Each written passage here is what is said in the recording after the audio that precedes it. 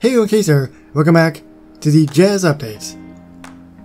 Well, the update is actually technically over, as I've already gotten all the personal prizes, and you can see, only this is remaining. And what is kind of interesting as well is there's actually two premium characters in this short mini update. Kind of. You confused? Let me show you.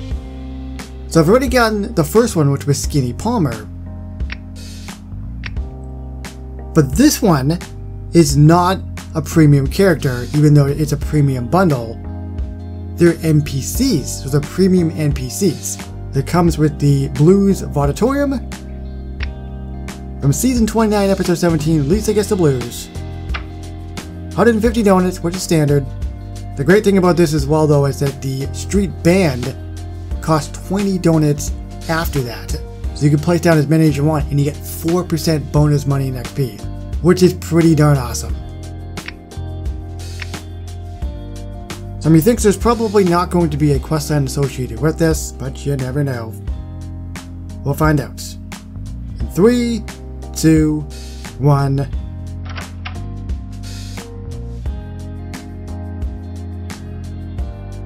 Heads up!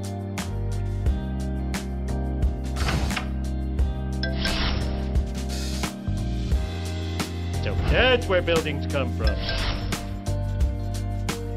Well, I love the sign. Blues Auditorium. And yeah, there is no line associated with this. The good thing he actually decided to do this one at the end. I guess. Alright, so like usual, we have to figure out what this thing is going to sound like. Probably jazz related. It says Blues Auditorium, so it's going to sound like the blues probably. Let's just go with the sound of the blues.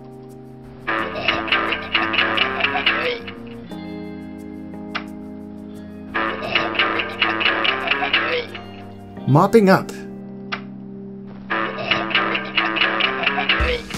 That's pretty catchy, actually.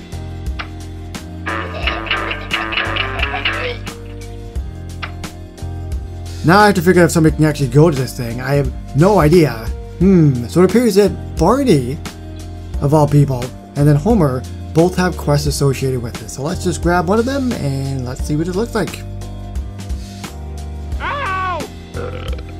Let's see if I can find it. Let's actually switch. Eat brunch with a side of jazz, no.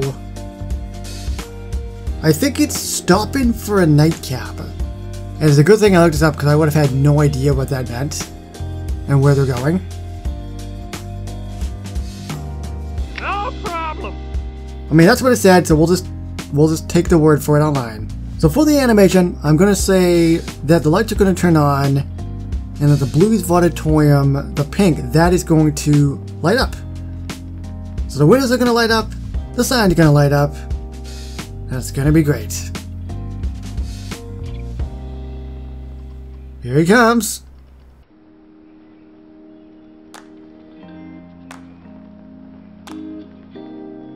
Look at that sign! The lights turn on and the sign lights up as well. I just thought it was going to be the Blues Vomitorium that lights up, but no, there's actually a little animation as well. He's puking! I have no idea if that is in the episode or not, but that's a fantastic sign.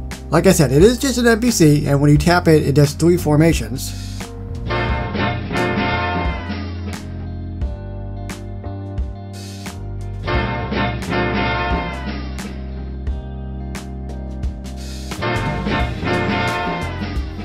But like I also said, you can buy more of them. 4%! I mean, you gotta buy a couple more of these suckers. You gotta buy some more. And more! And more! Okay, that's enough. But yeah, you can place down pretty much as much as you want, and with the 4%, it does go up. What is my percentage at anyway? I'm at 735. So I just went up 16%. But yeah, that is the street band, the NPC street band with the Blues Vomitorium. Let me know down below what you think of this. Do you think you would get it for the 150 donuts and then try to take advantage of the deal of 20 donuts afterwards? I'm curious to know, and I'll see you very shortly with more Any Simpsons Tapped Out in the near future. So thank you everybody so much for watching, and I'll see you on the next one. Bye everybody.